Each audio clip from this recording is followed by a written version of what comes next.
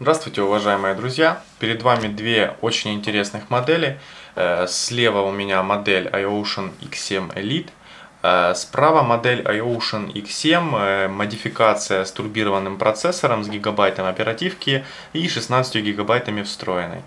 Эм, по техническим характеристикам, по экрану, по корпусу, по комплектации эти модели полностью идентичны. Я уже делал обзор на модификацию 1.16 и э, данный обзор вы сможете посмотреть по ссылочке справа на экране. Сегодня наше внимание э, привлекает э, iOcean X7 Elite – давайте посмотрим его технические характеристики, давайте посмотрим, сколько баллов он набирает в Antutu. 14621, очень приличный результат. Э, объясняется это все наличием турбированного процессора, э, дисплей Full HD, наличием мощнейшего PowerWare RGX 544 MP графического ускорителя, 2 гигабайт, реально 2 гигабайт оперативной памяти и 32 гигабайт встроенной памяти. То есть с данной моделью вы не будете испытывать никаких проблем с э, накопительной мощностью. То есть э, любые игры, любые фильмы на 32 гига можно записать все что угодно. Плюс можно оставлять, э, не забываем, microSD карточку.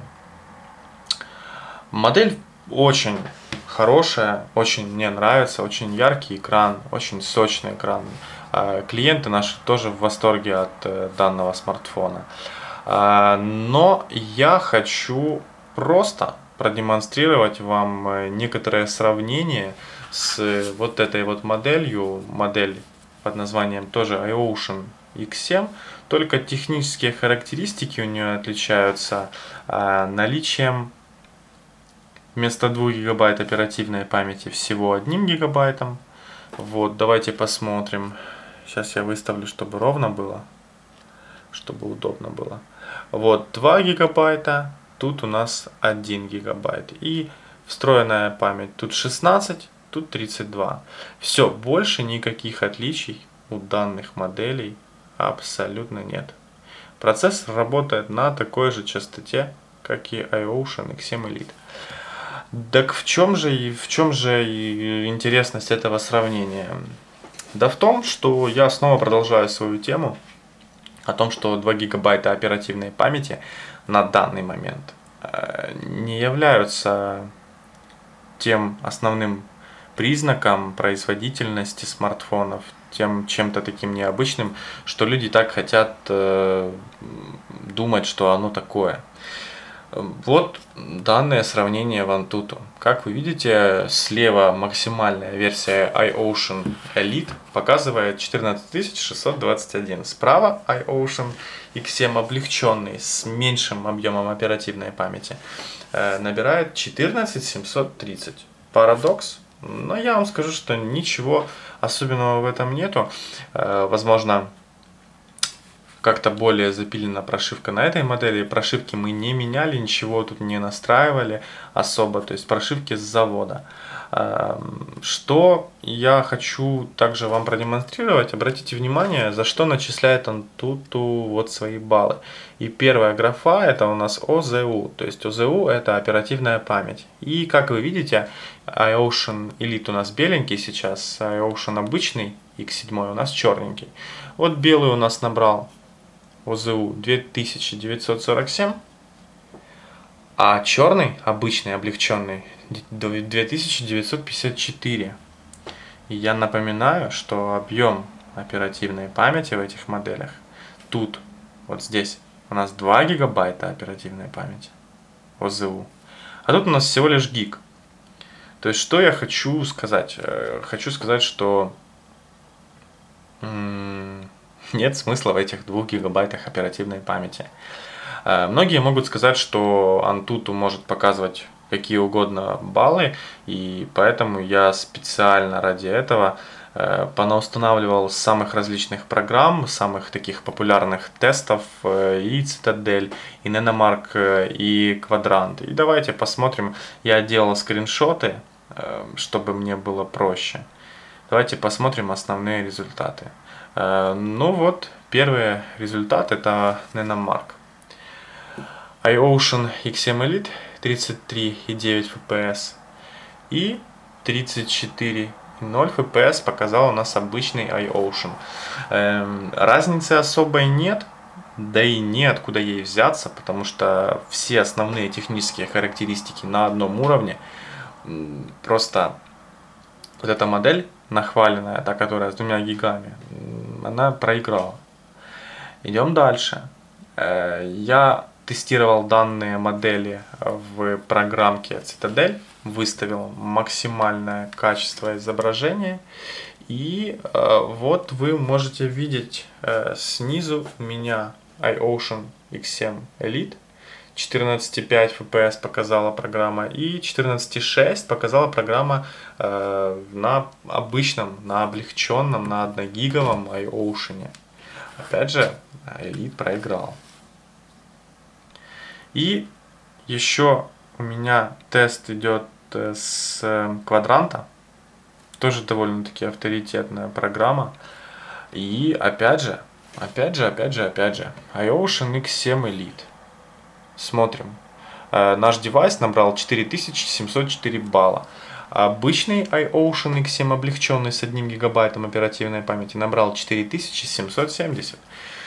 То есть Снова по всем параметрам в Antutu, в Квадранте, в Nenomark, в Цитадели iOcean X7 обычный с 1 гигабайтом памяти обошел по производительности во всех четырех программах обошел iOcean Elite.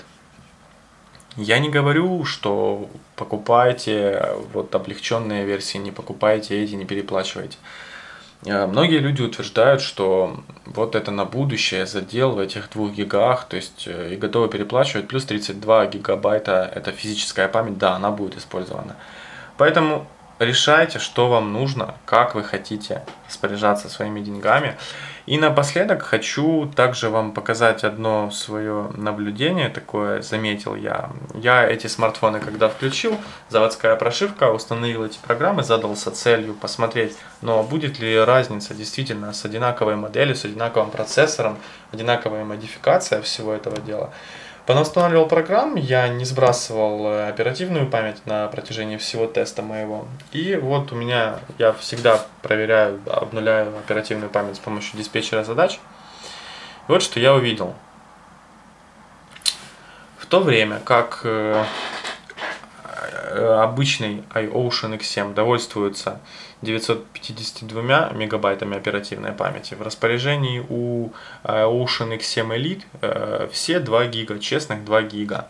Но что я заметил, как бы мы не нагружали смартфон iOcean X7, э, вот у нас отметка вот это вот 700, 800, это максимум, что у нас может использоваться.